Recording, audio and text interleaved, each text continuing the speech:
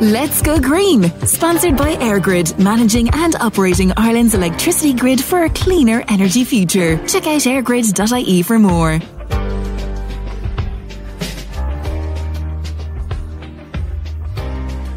Hello, and you are very welcome to this week's episode of Let's Go Green here on Midlands 103. I'm your host, Aisling O'Rourke, and I hope you are safe and well as you tune in this week. We have a packed show for you this week. You might remember a little while ago we spoke to a young man who was very passionate about the environment in Westmeath. Well, Ryan Dolan will be back on with us a little bit later on to tell us what brought him to the European Parliament. And we'll also be checking in on fast fashion and what is happening in France and the French Parliament around fast fashion, but also what's happening here and a new campaign aimed at encouraging us to be more educated about where our clothing comes from. But first things first, we're going to talk all things waste. And we're joined now by Kevin Swift. And Kevin is from the Regional Waste Management Planning Offices. Kevin, you are so welcome to Let's Go Green. Thank you. Now, Kevin, in recent weeks, all local authorities across the country have agreed a new plan, a new strategy in how they're going to manage waste right around the country in the hopes of getting us as a nation to produce less waste. Is that right? Yeah, that's about the size of it, Aisling. Um, the local government sector, uh, that is all county councils and city councils together, have for the first time collectively made one plan. And the plan is called, as you say, the National Waste Management Plan for a Circular Economy. The local government sector is responsible in law for making plans for the management of waste, even though on a practical level in our day to day lives, we see that the waste industry has become privatized in terms of waste collection or in terms of waste processing or waste disposal, even for that matter. Local authorities have still a very big role in terms of regulating the sector, in terms of enforcing the rules around it, mm-hmm. and also in terms of increasing awareness and providing education around uh, waste related issues. So it's in that context that the sector brings forward this plan uh, and it sets out really a framework for the next six years.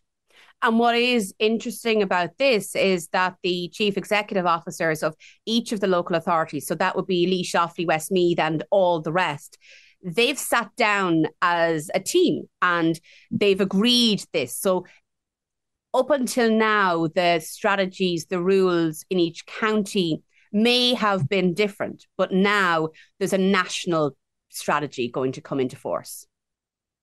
Yeah, there has been an evolution in that whole waste planning process over the last three decades, really, since we started in law to plan for waste. And that started with the Waste Management Act way back in 1996. So councils around that time would have had singular plans for a county. Then we evolved and we produced regional plans. Um, I, I, look after the Connacht Ulster region, for example. Uh, you guys are in the Eastern and Midlands region. And now, laterally, we've adopted one national waste management plan for a circular economy. So, yes, I mean, there is a collective agreement and there is now consistency in one plan. And that's important because as a sector, we speak to key stakeholders, key partners, and it's important as a sector that we're able to speak with one voice. And now we can. So, one plan, one voice, one sector you now have a, a, unity of messaging. So it doesn't matter what part of the country you're living in, you're going to be, the, the rules are going to be the same. So, how is this going to affect us as residents of all of these counties? You know, will we be seeing changes in how eh, our waste is collected or what we're being encouraged to do? Well, the big overarching ambition for this plan is what we call 0% total waste growth over the lifetime of the plan. Now, what that means in practical terms is that we want to put a lid on the amount of waste that each and every one of us presents each year or produces each year. And we can do that by a number of ways. We can just prevent waste. We can, you know, uh, start to look at how we consume stuff, uh, reduce the amount of stuff that we consume. Uh, but inevitably, we're going to consume stuff, and you know, this plan is talks a little bit about circularity and maybe keeping materials in use for longer. So the plan is very much about you know continuing that evolution of reduce, reuse, recycle, but also adding another R to the equation, which is refuse. So at the front end, maybe you need to think twice uh, about the things that you acquire. Maybe you need to think twice about what you want versus what you need. And you mentioned uh, textiles at the at the beginning of the the piece there, and that's that's an interesting case in point, whereby uh, we we consume a lot of textiles, mm-hmm. and a lot of textiles end up as waste, and that's that's simply not a sustainable model, uh, not just in Ireland but uh, globally as well. I'm thinking of, you know, the grocery shop and like one of my pet hates, and I talk about it a lot on on the show, is like every time I go to the supermarket, and I think we all have to go and buy food. But every time I go to the supermarket, and it doesn't really matter what supermarket I go to because to be honest with you, I'm a bit of an agnostic shopper. I go to the one that's handy to me depending on the week that's in it. Um, I seem to have like my kitchen counter as I unpack everything, just mountains of bits of plastic, bits of like things, and I'm going looking at them, going, well, which bin does it go into? Because I'm not too sure about that.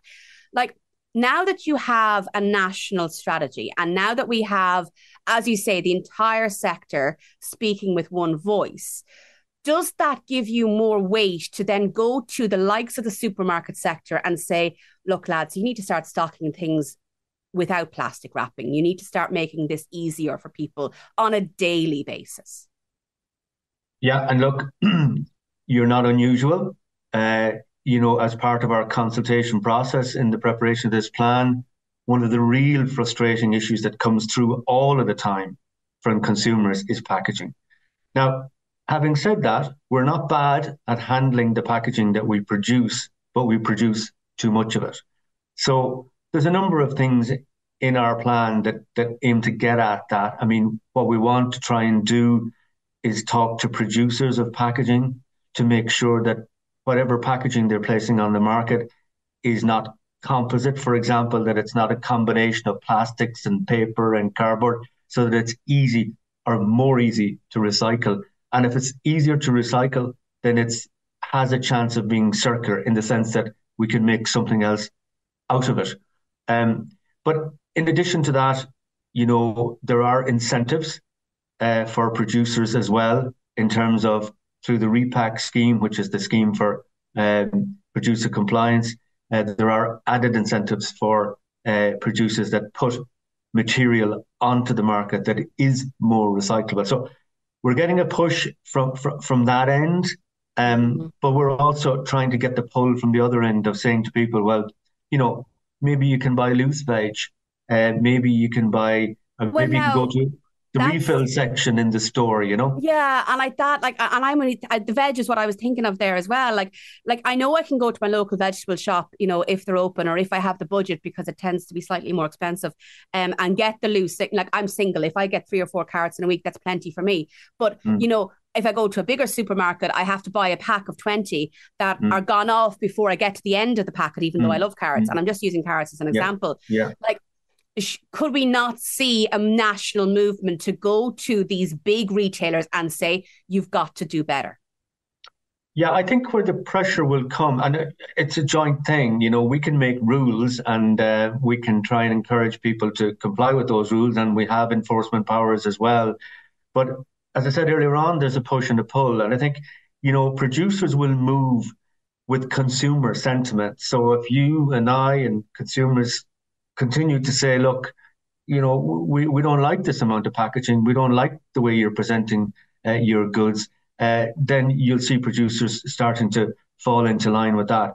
And, you know, I know you said earlier on you, you're not a particularly loyal shopper, but uh, if you go into certain chains, you will start to see uh, more refill options becoming available and alternative ways of, of, of procuring the things that you need to reduce mm. the amount of uh, packaging that's associated with them.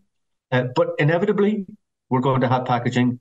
And inevitably, uh, you know, the thing is that we capture that packaging and we capture it in a way that it has the best chance of being circular, being made into something else. And that comes back to the basics, really. You know, are we segregating properly?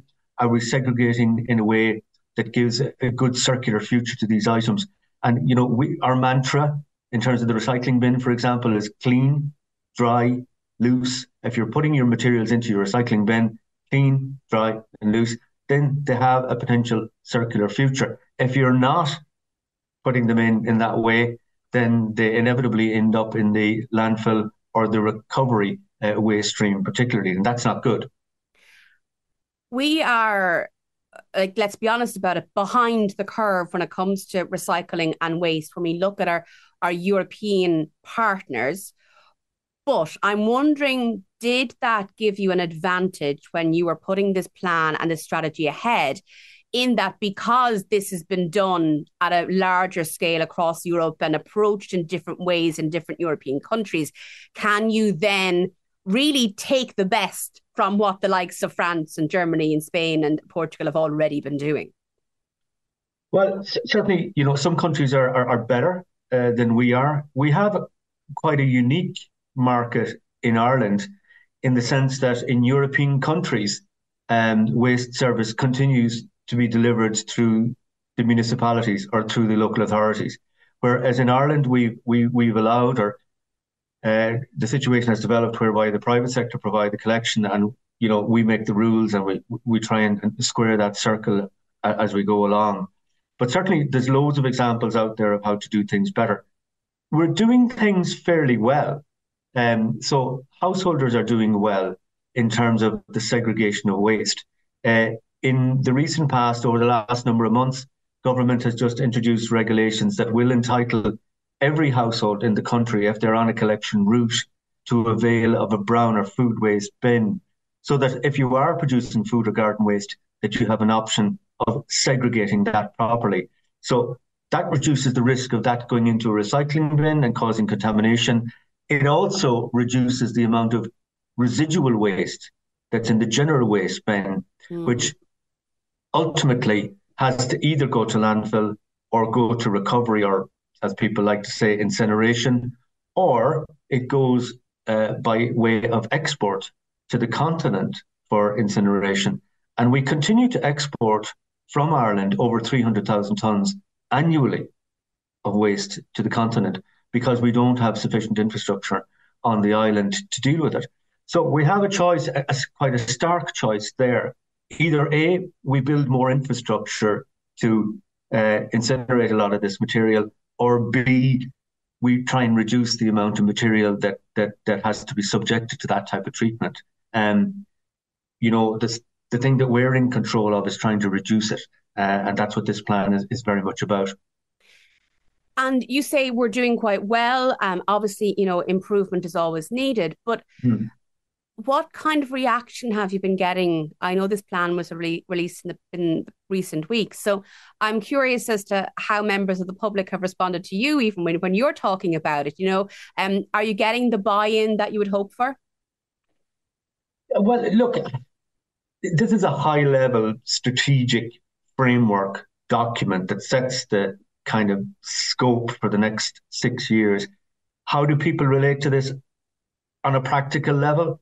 Well, you know, at the front end, people get their waste services provided by collectors. Um, you know, the interface between, you know, planning and the practicality of managing waste really happens at the doorstep. Um, so when people interact with us, uh, it's very much around, well, you know, I can't get a service or I can get a service, but it's not as fulsome as I would like. Uh, Where's my nearest civic community site? Can I avail of the full range of services there? What do I do if I have hazardous waste in my home? Uh, for example, like paint or light bulbs or aerosols or stuff like that. And you know what we've done over the last plan period, if you like, is to create one national platform for all things waste, and that's entitled mywaste.ie. And during the consultation process for this plan, uh, we facilitated you know feedback from from the public uh, to the to the draft plan. And I'm happy to say that we got over 1,500 um, submissions from directly from the public uh, through our uh, online platform with various views, uh, everything from waste presentation to waste disposal and everything in between. So people are exercised about these things because inevitably, I think you said it yourself earlier on, you know, waste is an everyday thing. Um, it's something that we're confronted with every day in our homes, in our workplaces, and elsewhere. Um, so it, it, it is ubiquitous and, and there's no getting away from it, but uh, we need to try to continue to manage it better.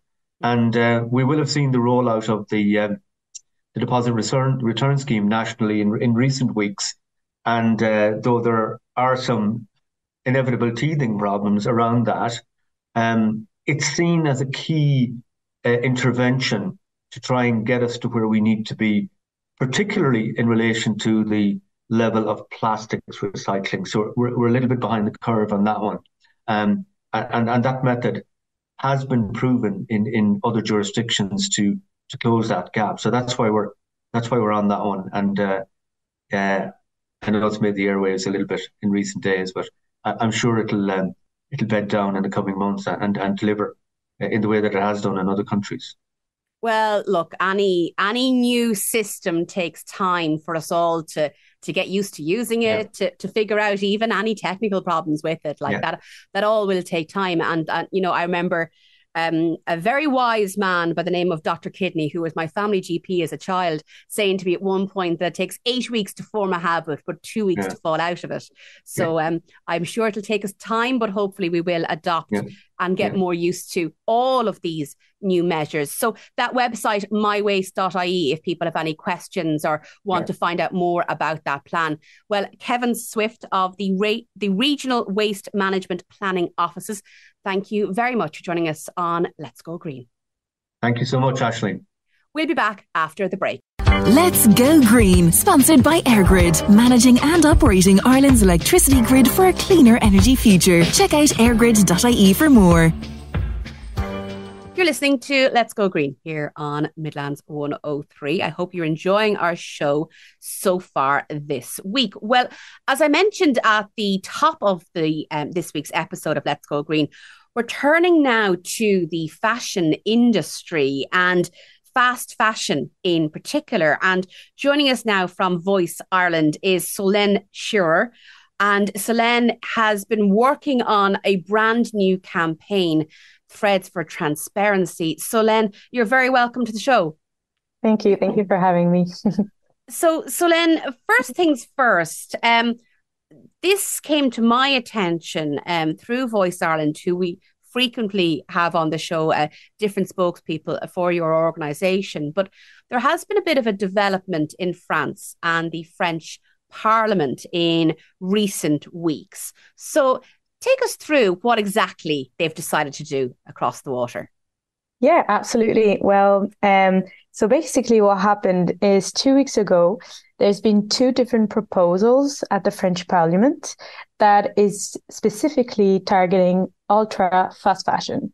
When I'm saying ultra, it means that it's mostly the online platforms. So, you know, all of these Shein, Temu, all of these that don't have physical shops. So that's what we call ultra fast fashion. And these uh, laws are basically targeting these um, platforms um, for their unfair competition to other types of shops, basically. Um, so the idea between those two uh, texts is to have a penalty of up to 10 euros per item within the 50% of the selling price, obviously. Um, so that would be per item bought on the website, uh, paid by the consumer. So that is basically to kind of counteract these prices that are so so low. You can see t-shirts of 2 euros, uh, jackets for less than 10 that is completely uh, crazy in a way. And also because that doesn't reflect at all um, what it takes uh, and the resources that go into producing these kind these uh, products. So there's this one thing about putting the penalty back on it and that would be part of the EPR because France is one of the only country having a an extended producer responsibility on textiles and fashion. Um, and the second important thing as well is that they want to tackle the advertisement. So they the those big brands and those big platforms couldn't be um, they would have there would be, be a ban basically on advertisement and also paid partnerships with influencers online. So a lot more regulations around that. And that's really important because at the moment it's kind of wild to see like mm. people advertising for Shein and Halls every week, letting people like think that it's normal to buy like that many clothes all the time and reinforcing the idea of disposable clothes, obviously.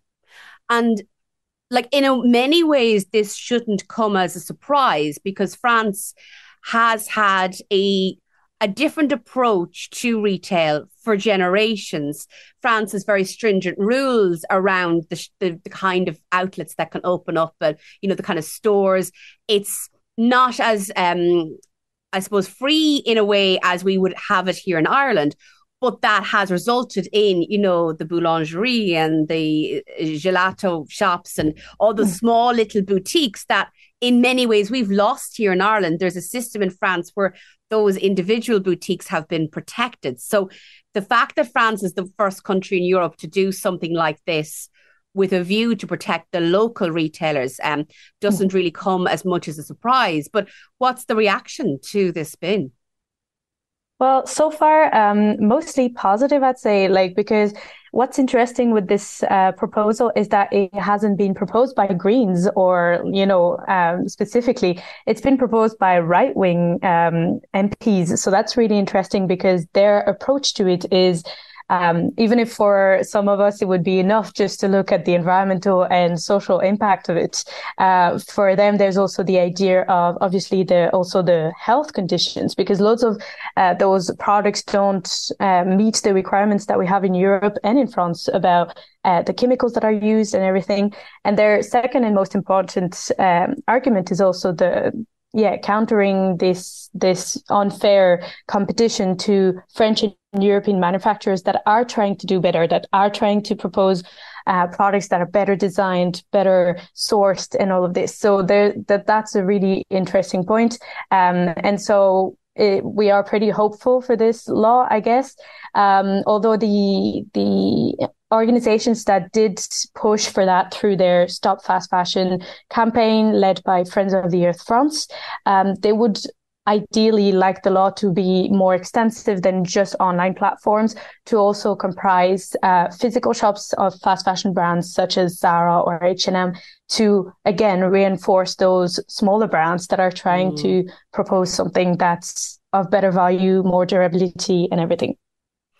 So then that brings us on to the whole conversation around fast fashion and even the conditions of the workers who make the fast fashion clothing. Like that is yeah. of, of, of huge concern around the world. Um, so tell me then about the Threads for Transparency uh, campaign that you and Voice Ireland and are you in Voice Ireland are launching and are involved in. Yeah, so uh, this campaign was launched last October. And um, although I would love also to campaign for what France is doing at the moment, we are going backwards and a little bit uh, uh, on the on the other side here, which is the the textile waste, and what do we do with that? Um, because that's also where you kind of start from. Um, so the the thing that we kind of started from is that in Ireland there's no definition of what is textile waste. So that was really surprising to us, and so we started to dig a little bit more about what this did that does that mean what that meant sorry um and so basically what that implies is that everything that we discard. So the 170,000 tons of textile that we discard every year, which is a huge amount. It's uh, equ- equivalent to 35 kilos per person. Um, so what does happen to it? And the the thing is that 65% of it just goes to landfill directly, just through the brown bin, uh, the the black bin. And so um, that shows that there's no proper waste stream for that. Mm-hmm. And the mm-hmm. second, the rest of it, the 35% remaining are collected, separately collected, either by charity shops or by commercial collectors. So the commercial collectors are the ones that own those bring banks that you can find kind of around the country. Um, and even though the charity shops do emphasize on reuse and they do a brilliant job, those commercial collectors are not uh, doing that. That their main objective is not to reuse; it's just to export for profit. And that's where lies the problem: is that if you don't have a definition of these textiles as waste, then the commercial collectors can just export it out of Ireland and not deal with it. So it's basically exporting our waste away mm-hmm. without having to deal with it. And like the problem there, and even in the charity sector, because I know I've spoken to people who work in the area and like charity shops, you know, some of them are lucky enough to have nearly they, they get so many donations that they mm. don't really know what to do with. And they have to then engage commercial collectors because they sometimes have more than they can cope with. But yet, even though they try to find someone who they think is doing things right, they don't really know because there's no real system in place. And like, I think, you know, we've all seen those collection banks around the country, and, you know, you might have clothing that you feel is not good enough for a charity shop or, or things that maybe a charity shop won't take. And then you need to dispose of it because it's beyond its use. But there's a challenge there about what the right thing is. So, what would you like to see happen?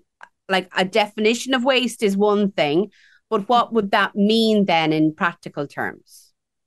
So the idea through with that is that those commercial collectors would then be regulated as waste managers, um, and so they would have to report on what happens to the clothes. Our goal is really to have this transparency and traceability in the sector, um, so that we don't like get completely greenwashed in the way of them just telling us, oh, it's going to be repurposed. But how, where, when? uh, you know, when you look at the numbers, there's only 1% of recycling capacity in the world globally. So uh, when they're telling you it's going to be recycled 100%, that's just impossible because we just don't have the capacity, neither in Europe, neither outside of it.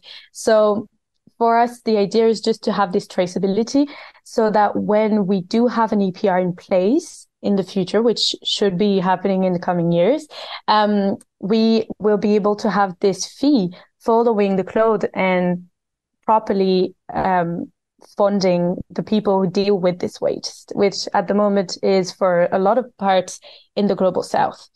Um, yeah. And just for listeners' benefit, what is the EPR again?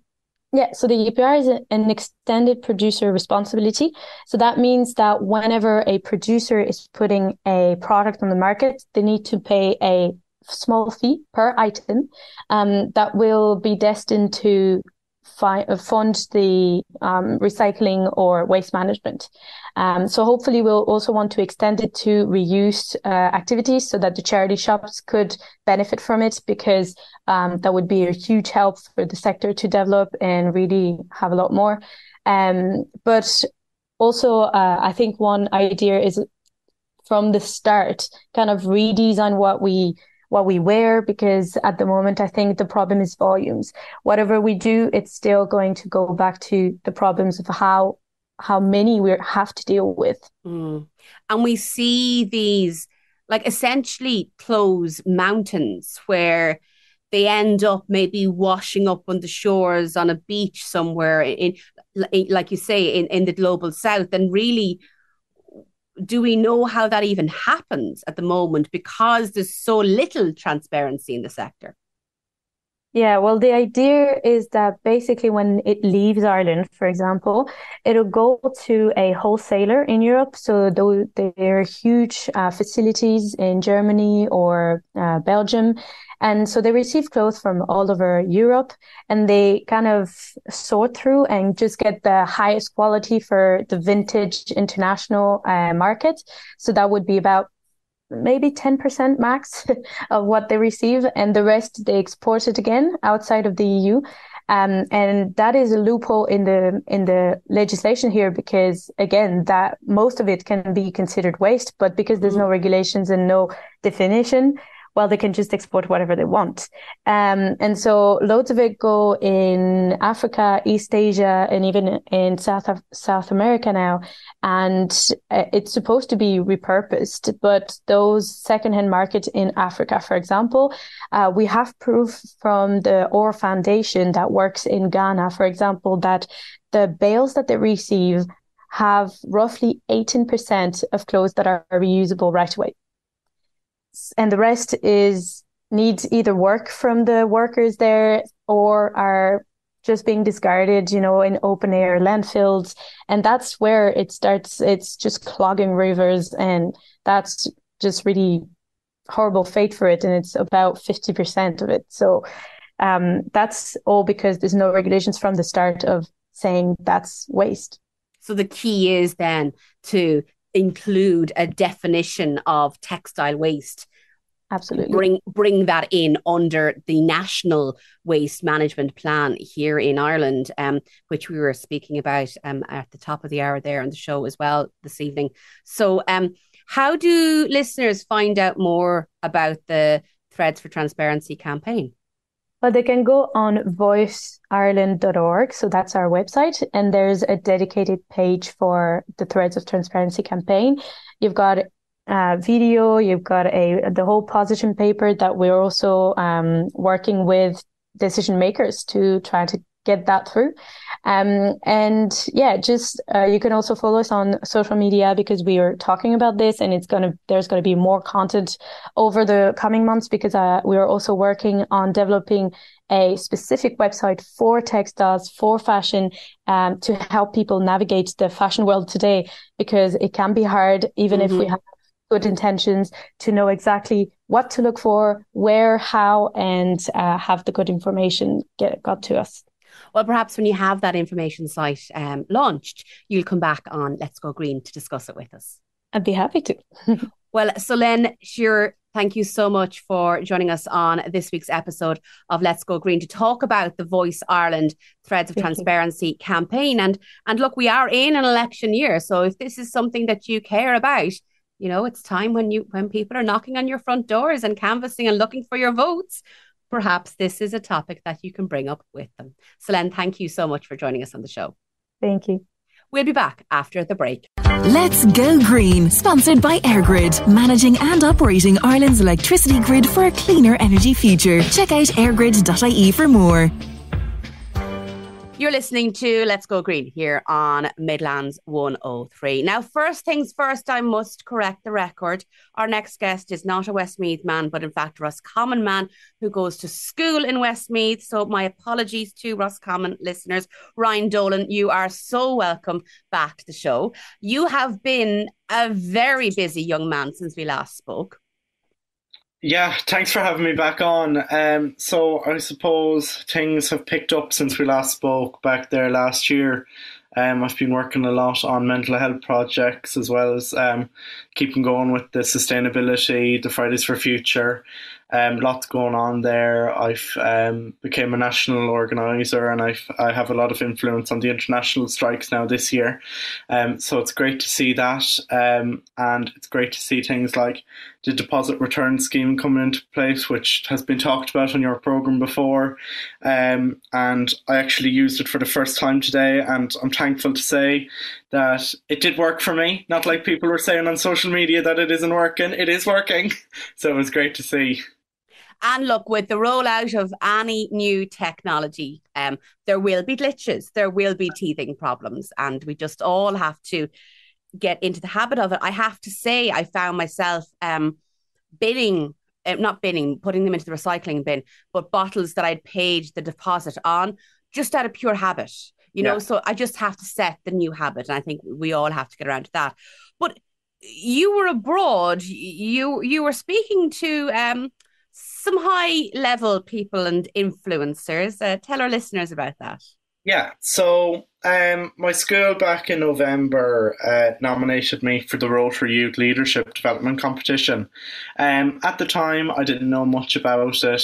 Um, I kind of knew that Rotary, what Rotary were. I knew that they ran the Remembrance Tree in Athlone and that kind of stuff. Um, but I got nominated for the first interview in the school. Ten of us um, got put forward.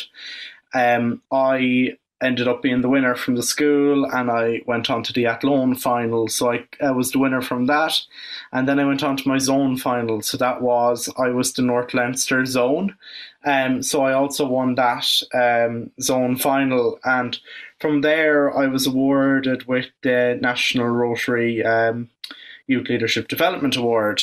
So um, I hadn't done much looking into it because I'm in fifth year now, very busy, and yes. not like last, not like last year. um, so anyway, I got word then of what the prize was, and I was a bit surprised because it ended up being a five day um, trip to Stormont, Dáil Éireann, and to um, the European Parliament in Strasbourg. So it was an absolutely amazing experience to get that award and to be able to go over there. And like I met with people like Emma Little Pengelly up at DUP, first uh, Deputy First Minister up in the north, and that was amazing to get that experience. And then down we came down to the south then to Dáil Éireann, and I met with um, Minister Martin, uh, Micheál Martin, and um, other people like Minister Chambers. We met with um, Alan Farrell, TD for Fine Gael, and Mairead Farrell, TD for Sinn Féin. So it was great to get to see kind of cross border, uh, cross party um, opinions, and they were all there together. So it was nice to see them kind of all answering the same questions in their own different ways, but um, there was a lot of overlap. So it was good to see that although we do have an opposition in our government, they're not opposing everything. um, so it's good to see that. Um, and it was just an amazing experience in Dublin because I had never been in Dáil Éireann before, mm-hmm. um, which was a surprise to some of my friends that I know in the youth activism sector and things. Um, and then the highlight of the trip had to be um, we flew over to Frankfurt and transferred down to Strasbourg for a day in the European Parliament. So um, the Parliament actually was sitting in Brussels at the time. They were in their committee phase. Um, but we got to sit in the chamber in Strasbourg, the European Parliament plenary chamber. And then there was there was uh, MEPs tuning in. They were just online because um, they were in Brussels, obviously. Mm-hmm, mm-hmm. But it was a, just the most amazing experience to get to sit in that chamber, and we actually got to debate like the MEPs. So the topic we were debating was the EU um, EU's commitment to air emissions. So that was a really kind of cool topic and one that I hadn't thought about much.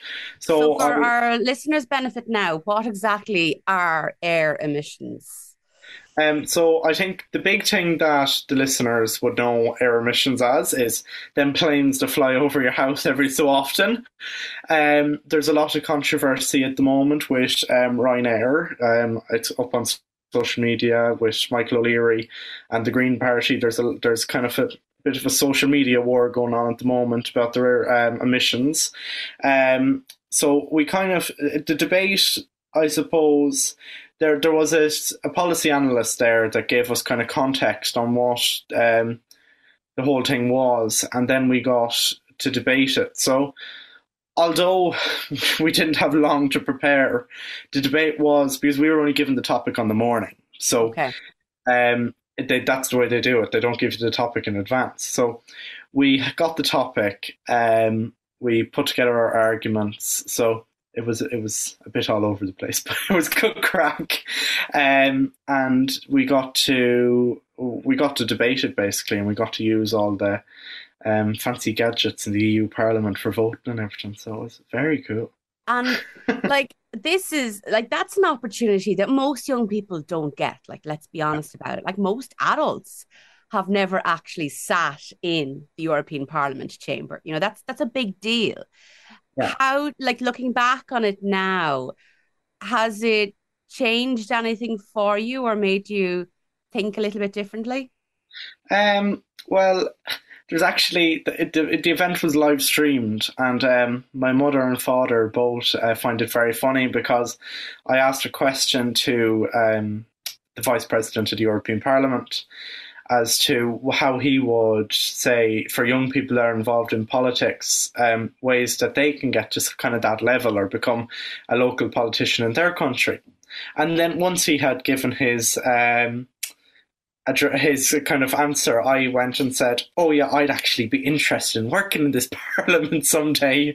So I kind of threw it out that I wanted a job. Um, so, if I'm completely honest with you, I never kind of considered European politics.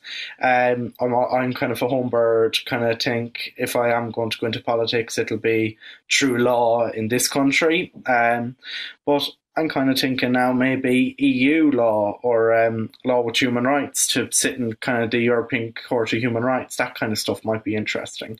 And like, there's very interesting cases in the um, European Court of Human Rights, like with um, big shipping companies and oil and that kind of stuff. Like that's the big case that's going on at the moment. There's a shipping company um, that released oil that they weren't supposed to release, and it affected fishing villages um, up in the Scandinavian countries. And that's a case that's being brought to the European Court of Human Rights at the moment.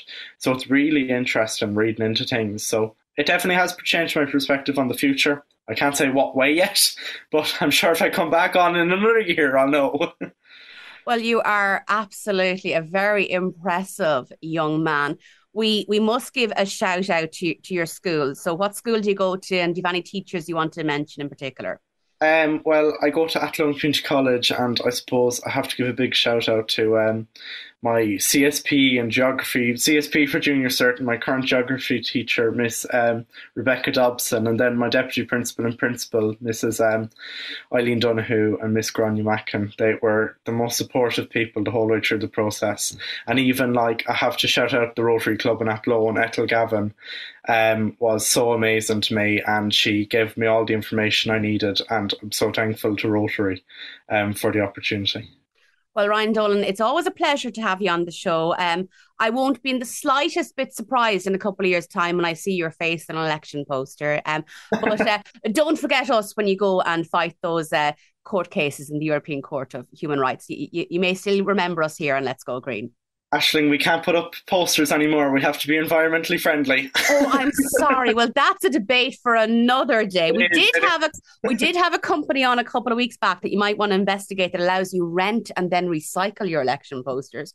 But uh, but perhaps Ryan, you and I can have that chat off air. Listen, thank you so much for joining us here on Let's Go Green once again. Thanks, Ashley. We'll be back after the break.